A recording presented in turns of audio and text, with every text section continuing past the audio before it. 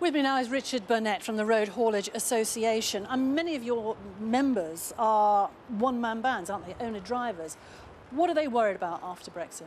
Well, you're right. 85% of the market are, are small, medium-sized businesses. They're worried about the customs process. They're worried about uh, what that's going to mean on access to Europe from their perspective.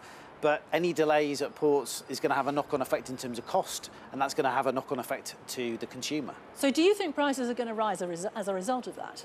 As a, as a, result of a no-deal Brexit, I, I think, you know, almost definitely we're going to see an increase, an increase in cost. It could actually put businesses out of business if we, if we see long delays at the ports. I mean, we had this scenario where people were describing lorry loads of fresh produce rotting because of those long queues. We know many of your members are actually loading onto this ferry behind us now. No, absolutely.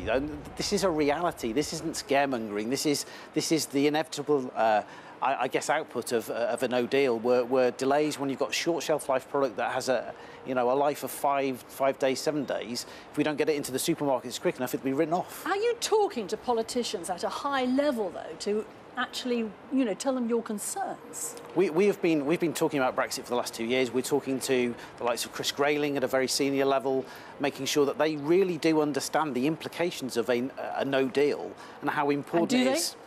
I, I, I, think that it's a bit too late, but I think they're beginning to realise the implications of that now, uh, and it's critical that we do get a, a deal for our industry. Richard Burnett, thank you very much for joining us.